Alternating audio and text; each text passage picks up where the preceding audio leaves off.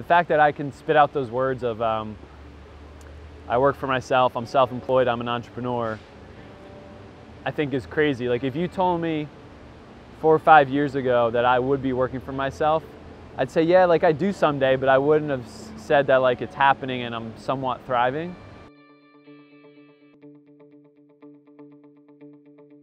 When I first started out, and I was everything to everybody.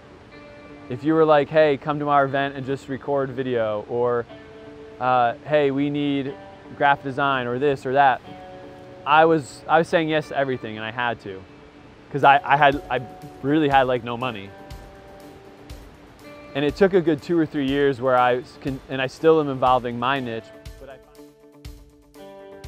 with me, there is no consistent paycheck, uh, financial predictability, um, and I have to figure out how can I manage my expectations of both the way I want to live my life, personally, professionally, financially, but also I think my mental health. Like I've had some highs, highs where I'm like, oh my God, I can't believe the work I'm doing and the, and and you know contracts that I'm getting and and the impact we're making.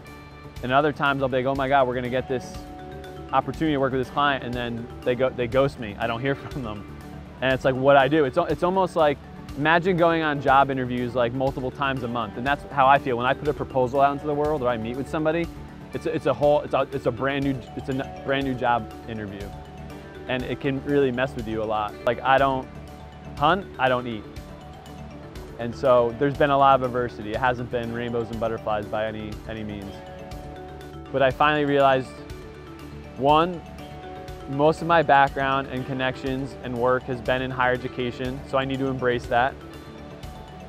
Two, there's a lot of nonprofits and associations around Washington, D.C that I, can, I have and can do work for.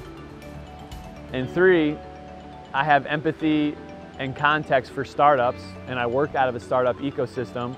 I can serve them and help them, and I can work with variety of budgets. So over the years, where I used to say stuff to everything, I now am branded FYN Creative as we're a digital storytelling and video production agency that has not just serves, but has expertise in higher ed, nonprofits, and startups.